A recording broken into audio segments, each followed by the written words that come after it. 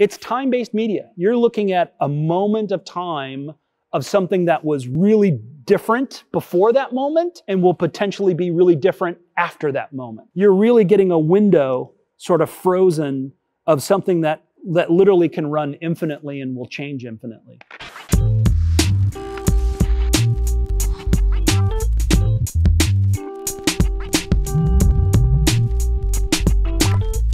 Welcome to Zero Space. We're uh, here in Brooklyn. We've got a 50,000 square foot sort of digital playground.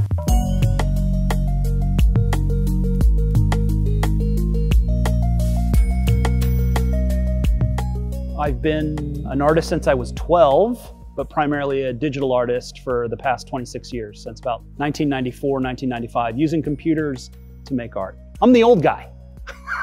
Over here we've got an LED uh, XR stage and we're playing some of the animations for the show.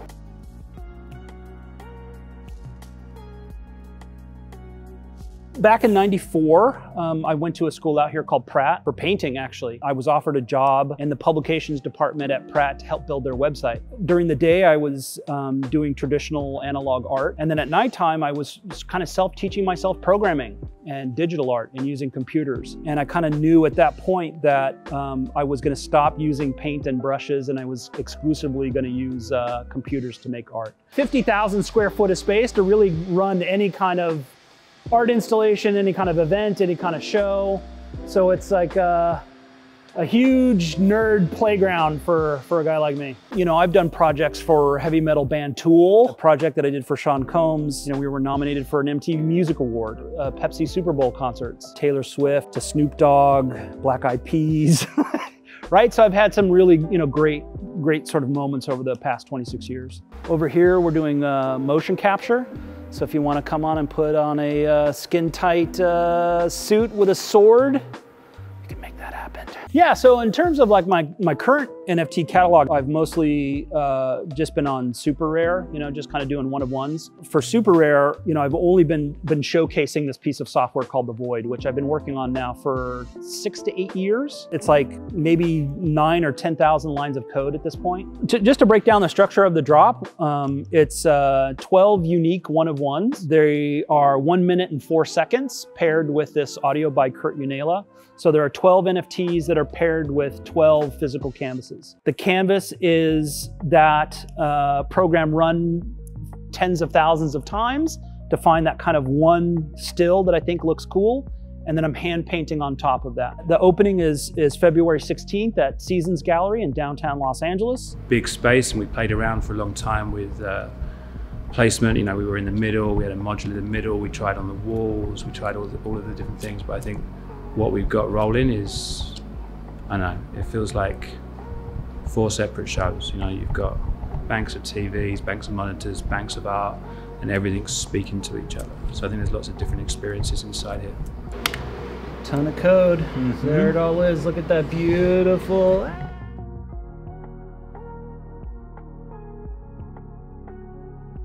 It is not an auction style. So the pieces are, are $12,000 and you get the NFT and the canvas. Whatever doesn't sell ahead of the public um, LGND will drop on uh, February 17th. So on February 17th, whatever didn't sell privately um, will be available, and it's just a one-time, like one and done. No, no auction. We're trying to get to these people who this might be their first NFT that they've ever bought. Right? They're they're they're used to a traditional gallery. They're used to traditional canvases. They're still getting the traditional canvas, but they're also getting this NFT. And so the idea of of of, of a collector walking in from the traditional arts back saying like, oh, I want this canvas. Okay, cool, auction started. You have to wait 24 hours is, is not the right uh, mechanic for this particular drop. See the real algorithm running in that room in real time, which is Java. And then here you're seeing sort of the, the canvas frozen and then you're, you're seeing what it's captured from. It's, it's an opportunity for you to see sort of the duality between analog and digital and digital and physical and physical and digital? Or what are kind of the creative boundaries and processes for making this work? And, you know, it's taken me six or eight years to kind of get the code to this point, but they're literally like individual building blocks. One building block, its job is just to do color. Um, you, you'll tell me what the color palettes are, and then you'll tell me what I should color, and then I'll do it for you. And so I say, well, okay, there are nine different color palettes and you can, you have the choice to, to pick which palette you want to use.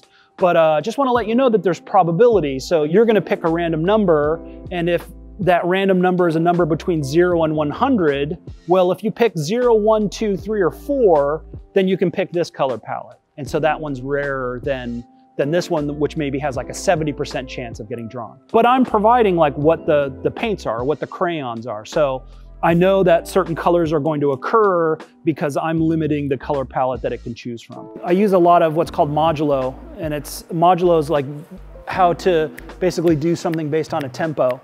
And so there's a tempo on this that switches between a kaleidoscope shader and, and, and the regular piece.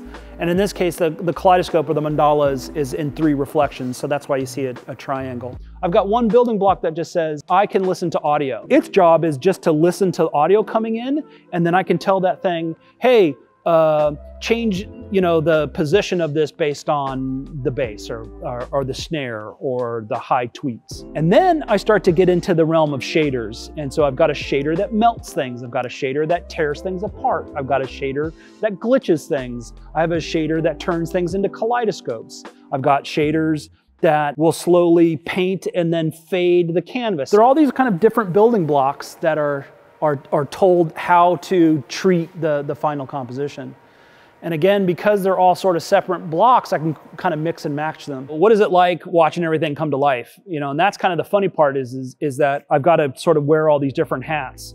I've got to be the programmer that programs the environment to, to make sure that everything works algorithmically. I also have to be the designer to make sure that the, the colors are working well and the shapes are working well.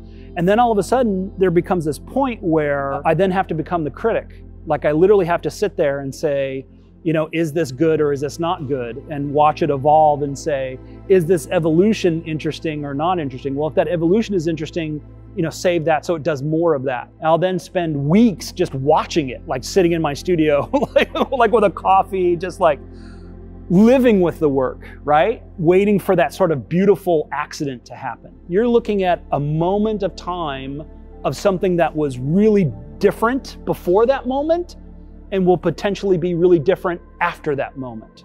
Because I've been in this space of digital art for so long, um, it's always been about cataloging. It's always been about hard drives and preserving your work.